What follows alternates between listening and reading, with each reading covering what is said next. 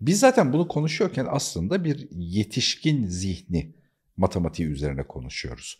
Yani bu çocuklukla alakalı bazı problemleri olabilir ama bizim ana gündemimiz değil. Biz aslında 18, 19, 20'li yaşlardan itibaren insanların bir yetişkin olarak kendisine bakabilmesi, bunu bir eksik benlik zihniyle bunu algılayıp etiketleyebilirse bunu tamir edebileceği bir şey olması. Bunun sadece tamirin ne? Yani bu, bu buna yaklaşıyorken nasıl yaklaşmak? Aslında birkaç cümleyle özetledim bazı şeyleri. Erişkinde tamiri ayrı, hiç oluşmaması için çaba göstermek ayrı. Çünkü şu anda bizi dinleyen ya anne baba ya potansiyel anne baba. Ya öyle bir durum var. Mesela bugün bir dostumuzla konuşuyoruz. Hocam dedi yani şeyi fark ettim dedi. Küçük çocuğu varmış. Çocuğumla oynayamadığımı fark ettim dedi. Sıkılıyorum dedi. Sonra dedi, düşünün ya bu kadar seviyorum çocuğu da niye oynayamıyorum? Fark ettim ki babam da benimle oynamıyordu dedi. Dolayısıyla ben böyle bir davranış görmediğim için ne yapacağımı bilmiyorum. Şimdi mesela ona dedim ki torunun olduğunu varsa yıllar sonra o çocuk büyüdü ve sana bir torun verdi. Bir düşün bakalım dedi nasıl sever misin o torun? Aa dedi deli misin? İşte derler ya torun ana para çocuk faiz, şey, çocuk ana para torun faiz. Tabii ki o hemen bir duygular coştu. Dedim ki torununun kendisiyle doyasıya oynadığı bir anne. Bu da ilk defa duydum yemin ederim. Öyle mi? Anadolu'da derler ya. Bir yadırgadım konu kendisini. Tabii çocuk ana para, torun faiz. Bence çok güzel bir laf. Nasıl dedim ki bak çocuğunun ana babası... Faiz haram ama falan ya. Benim kafamda hani böyle yapıyor. Boşver tatlı sonuçta. Doyasıya oynayan bir torun olmasını ister misin dedim ana babasıya. Tabii isterim dedi. Çok basit bir yolu var dedim ya. Otur kendini zorlayarak çocuğunla oyna. Ve o sırada kendini izle. Mesela bu çift taraflı bir şey. Bir çocuğun hasar görmesine engelleyeceksin. İki, kendini orada gözlemleyeceksin. Ben nasıl olabilir de onun için ölebileceğim bir varlıkla zaman geçirmekten sıkılabilirim. Çünkü bu inisiyatif alana kadar eksik benliğimiz dolayısıyla ailemizden gördüğümüzü bilinçsizce taklit ettiğimiz bir hayat yaratıyor bize. Ama ne zaman bu denklem bozuluyor? Bilincimizi koyuyoruz ortaya. Bir dakika aga diyoruz ya ben bunu niye böyle yapıyorum? Bir kere değişim burada başlıyor zaten. Burayı mesela 10 tane eğitim aldın. Her biri de birbirinden zor. Kafan oldu çorba. Bir dur. Biz o kadar eğitimi niye yedik? Bir bunu sor. Yani ne yapıyorum ben bu malzemeyle? İşte bu kadar işte bir akşam bar hopping yapıyorsun. Oradan çıkıyorsun oraya giriyorsun. Eğlenceler. Bir dur. Ne yapıyorum abi ben diye bir sor. Burada aradığım şey nedir? Mesela insanlar niye eğlence arıyor? İnsanlar niye uyuşturucu arıyor? İnsanlar niye sosyal medyada onlarca saat geçiriyor her gün? E sebebi bu. Bir eksik var ve orada tamamlanacağını düşünüyor. Ve bu yani öbür insanlardan bahsetmiyorum ki. Ben geçenlerde bir yerde övünüyordum sağda solda. Yani bir buçuk iki yıldır sosyal medya kullanmıyorum. Enginciyim sağ olsun. Yönetiyor bizim hesabı ve ben işte çok rahatladım, kurtuldum falan diye. İki gün geçti. Bir yerde telefonu elim aldım, bildirim geldi, bastım. Yani minimum 45 dakikam gitti Instagram'da. İlk defa aylardır bakıyorum yani ne oluyor diye. Gitti hayatımın 45 dakikası gitti mesela. Ve o anda kapattıktan sonra şunu niye dedim ben böyle bir şey yaptım. O anda bir başka eksiklik tuzağına düştüm işte. Bir şey, bir şey tuttu beni. Bilmiyorum tam olarak ne olduğunu.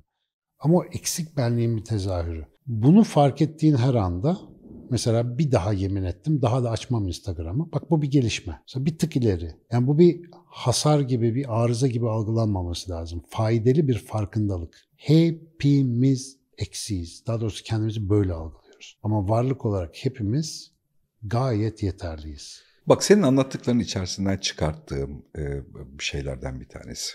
Mesela eksik bilgi, biz eksik benlik bizde neye neden oluyor? Karşılaştığımız her bilgiyi cebimize sokuşturmayla alakalı bir çabaya neden oluyor. Bu da bir yerde lazım olur, bu da bir yerde lazım olur.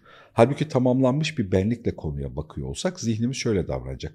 Bu benim niye ilgimi çeksin? Bununla hiç konsantre değilim, bununla hiç ilgilenmiyorum. Bak bu enteresanmış. Hani bunu seçebilmeye bir fırsat tanıyacak.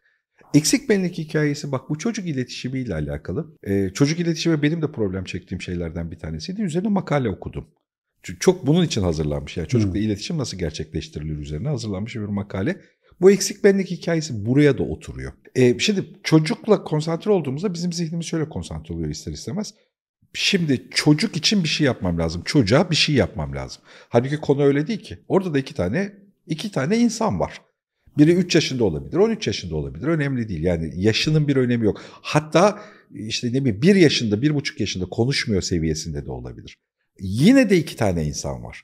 Yani senin yaptığın, yapmayı bildiğin şeylerle onun yapmayı bildiği şeyleri eşit denklikte başka bir yetişkinle masaya oturduğumuzdaki hal gibi bir hale getirdiğinde anlamlı oluyor. Ama eksik bir benlik duygusuyla masaya oturduğumuzda ben onun için bir şey yapmalıyım diye çabalıyorsun. Yapılacak bir şey yok. Öyle bir şey yok çünkü. Yani bir buçuk yaşında çocuğa Hani senin için bir şey yapmak istiyorumdaki seviye 35 saniye. 35 saniyeden sonra sıkılıyorsun. Doğa doğası. Sana do- şatobiryen yapıyor. yani anca onunla beraber yapabileceğin senin de hayatta yaptığın bir şey varsa atıyorum işte koşuyordun, yürüyordun ya da başka bir şey yapıyordun. Onun da ilgisini çekecek kitap okuyordun. Belli bölümlerini sesli okuduğunda Hani onunla beraber okuduğunda, ona da okuyormuş gibi yaptığında onunla beraber vakit geçirdiğin bir şeye dönüyor. E, böyle, yani senin de zevk alacağın bir şey buldun. Bir şey bu yani yarı yarıya denk geliyorsun. Böylece hayatta kendi benliğini, sınırlarını ben varım, buradayım, anlamlıyım. Herkes için yeterince anlamlıyım dediğin bir ilişki kuruyorsun. Herkes için. Şöyle düşün. 3 yaşında bir çocuğu karşına alıyorsun. Onun gözlerinin içine bakarak diyorsun ki şu koltuk var ya şu koltuk. Bu senden 10 kat daha kıymetli. Şimdi bu çocuğa bunu her gün söylediğini düşün. O çocuğun hali ne olur? Şimdi gel bunu davranışsal olarak söyleyelim. Çocuk seninle oynarken cep telefonuna mesaj geliyor ve bakıyorsun. Aynı mesaj. Diyorsun ki seninle uğraşamam, senden 10 kat önemli bir şey geldi. Yani bunu fark ettiğin zaman yutarsınız o cep telefonunu. Camdan atarsınız. Ama işte bunun için farkındalık gerekiyor. Evet. O anda ne mesaj verdiğimizi ancak bilinçli farkındalıkla görebiliyoruz. Ve bir çocuk düşün. Yani o küçük yaşında Tam oynuyorlar. Ana ya da baba bir şekilde sıkılıyor. En kötüsü bu. Sıkılıp gidiyor. Ya da bir başka iş için hiç böyle teklifsiz bir şekilde iletişimi kesip oraya dönüyor. O çocuğun zihnindeki kodu düşünsene. Yani ormanda eli bırakılmış çocuktan hiç farkı yok. Kayboluyor yani. Aslında o çocuğun ihtiyacı sana 15 dakika. 15 dakika sonra hiçbir çocuk seninle ilgilenmez. Bir sürü çocuk büyüttüm ben biliyorum. Doğru. Abi 15 dakika konsantre 15 dakika çocuk git ben şey, başka bir şey yapacağım diyor yani. Onun kendi gündemi var. Ama biz 15 dakika içerisinde... Benim planım var, düğüt falan. Diyor. Tabii kaç kere, kaç kere ihanet ediyoruz o ihtiyaca. Sonra çocuk diyor ki, ben değmem abi diyor. Lan anam babam bile bana diyor. Evlat olsam sevilmem ben diyor ya. Neticede geldiği yer bu. Dolayısıyla bu ileride ne oluyor? Bir davranış örüntüsü olarak aynen yansıtmaya devam. Aile, aile ya da ne bileyim çocuk yetiştirme açısından bir hikaye. Ama polis olmadığı zaman arabasını yolun ortasına bırakıp giden dangalağın da derdi aynı. O da Onunki bir de ekstra dangalaklık çünkü arabayı oraya bırakıp gitmek biraz da bilinç ister yani orada bir pislik de var. Ama ona cüret edebilecek tinetsizlik ben neyim ki ya? Ben arabayı bıraksam ne olur bırakmasam ne olur? Polis yakalayana kadar bana her şey serbesttir. Denize işerim de çöpte dökerim de. Hepsini yaparım yani. Eksik benlik insanlığın kanseri. Yani bundan bir kurtulursak bir de mevhumu muhalifini düşünmemizi tavsiye ederim. Yani zıt kavram.